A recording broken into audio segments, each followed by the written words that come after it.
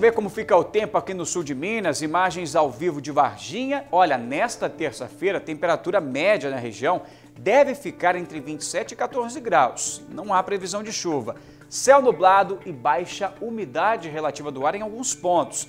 Agora a gente vê como fica o tempo em outras cidades. Vamos ver na tela aí Olha, Lambari mínima de 13, máxima de 26, em Serrania mínima de 14, máxima de 26 também, em Cambuí mínima de 14, máxima de 23 e Ouro Fino, fechando aqui a nossa previsão, mínima de 14, máxima de 24 para esta terça-feira aí na sua tela, previsão do tempo completa aqui no sul de Minas. Por enquanto, a gente não há previsão de chuva, mas é claro que isso pode ser alterado e a gente vir aqui informar você para preparar aí, né, o guarda-chuva, preparar as galochas ao sair de casa e, claro, né, se aquecer, se aquecer bastante, porque à noite possivelmente pode esfriar se vier previsão de chuva. A gente está vendo que mesmo sem a previsão de chuva, com o céu aí parcialmente nublado, à noite também, né, um céu bonito, né, está esfriando. O pessoal está relatando aí que em muitas cidades a temperatura está caindo e está caindo legal. Olha só, agora 7 horas